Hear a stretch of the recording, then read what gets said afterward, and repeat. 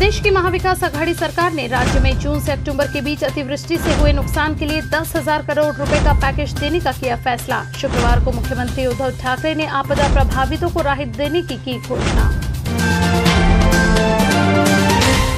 प्रदेश के निजी अस्पतालों में इलाज कराने वाले कोरोना संक्रमित मरीजों को अब 2,360 रुपए में रेमडेसिविर इंजेक्शन मिल सकेगा। राज्य सरकार ने निजी अस्पतालों में उपचार कराने वाले कोरोना के मरीजों के लिए इंजेक्शन की दर तय कर दी है। शासकीय अस्पतालों एवं प्राथमिक उपचार केंद्रों में शुरू हुई जाँच तो हुआ चौंकाने वाला खुलासा। कोविड के बाद भी 80 प्रतिशत मरीजों को हो रही है सांस की तकलीफें।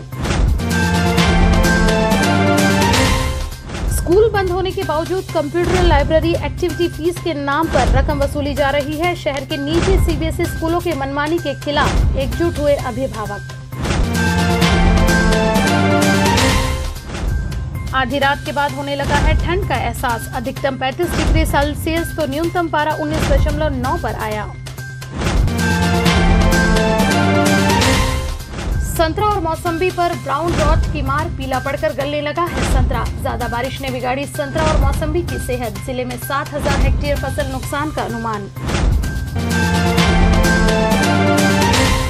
ज़िले में चार सौ पैंसठ कोरोना पॉजिटिव तो वहीं तेरह की हुई मौत, छह मरीज़ हुए स्वस्थ।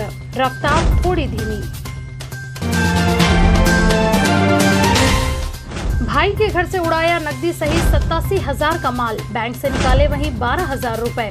शुक्रवार को गिट्टी खदान पुलिस थाने ने किया मामला दर्ज। मनपा सिंचाई विभाग और मेट्रो रेल की बैठक में महापौर ने दिए निर्देश। अंबाझरी तालाब शहर का वैभव है। अंबाझरी तालाब के मजबूतीकरण पर तत्काल करे कार्रवाई।